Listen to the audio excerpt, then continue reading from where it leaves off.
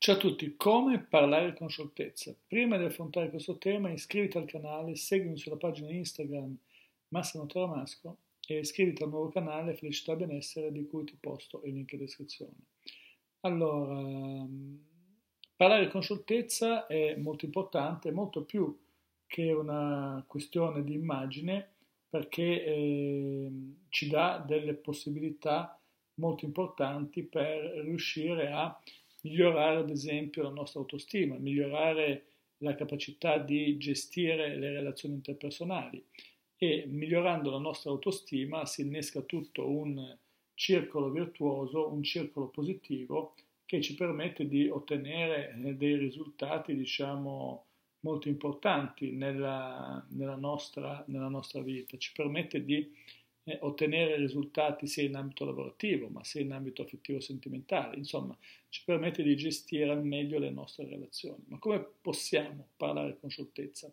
Allora, dobbiamo tenere presente questo, che più alto è il livello emotivo, meno siamo sciolti nel parlare. Quindi, eh, quando siamo in preda di una forte emozione, le emozioni non gestite possono generare dei blocchi, possono generare delle situazioni di negatività, anche di negatività molto estrema, per il fatto che non sappiamo gestire eh, la nostra, non sapendo gestire l'emotività, entriamo in uno stato confusionale, cioè l'emozione da quel punto di vista lì inibisce eh, il linguaggio, perché linguaggio e emozione sono strettamente connessi, strettamente collegati. Eh, è poi una delle strutture, quella linguistica, che risente maggiormente di più maggiormente dell'emozione. Probabilmente a livello evoluzionistico, essendo l'emozione, diciamo, quando l'emozione prevale, non bisogna parlare, ma bisogna agire. Quindi, ehm, quindi la capacità di gestire le emozioni è fondamentale per parlare con scioltezza. Quindi una delle cose che possiamo imparare a fare, che dovremmo imparare a fare sicuramente, è quella di gestire la nostra emotività. Gestire l'emotività cosa significa? Beh, semplicemente significa che dovremmo imparare, diciamo, a, eh, ad esempio a meditare. La meditazione è fondamentale nella gestione delle emozioni. Se non sai meditare, non sai, eh, come dire, non sai gestire le tue emozioni. Quindi ovviamente questo è un percorso lungo che richiede un, un, po', un po' di tempo, ma è molto semplice, basta ad esempio semplicemente effettuare delle meditazioni sul respiro. Non bisogna fare meditazioni particolarmente complesse, meditazioni particolarmente articolate. L'importante è saper gestire proprio la nostra emotività semplicemente, ad esempio, controllando il nostro respiro.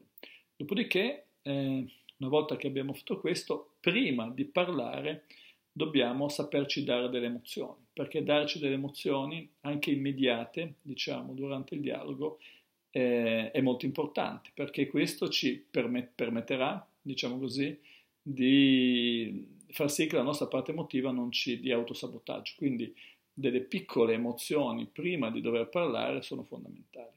E questo per la gestione delle emozioni. Poi ovviamente bisogna imparare degli aspetti tecnici. Intanto è fondamentale leggere e ascoltare molto le persone in generale, perché è ovvio che per parlare devi avere dei contenuti, se non sai quello che devi dire, quello che, che puoi dire, quindi eh, leggere molto, è fondamentale ascoltare video, radio, parlare soprattutto con le persone, ascoltare le persone, questo è un altro punto fondamentale.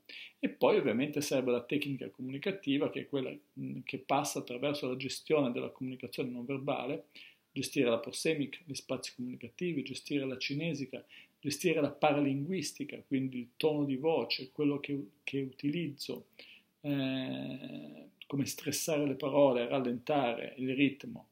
Queste sono tutte abilità molto importanti, abilità veramente importanti che ci permettono di interagire positivamente con, eh, attraverso la comunicazione, quindi dare un'enfasi alla comunicazione. È molto importante anche saper gestire i canali comunicativi, visivo, uditivo e cinestesico.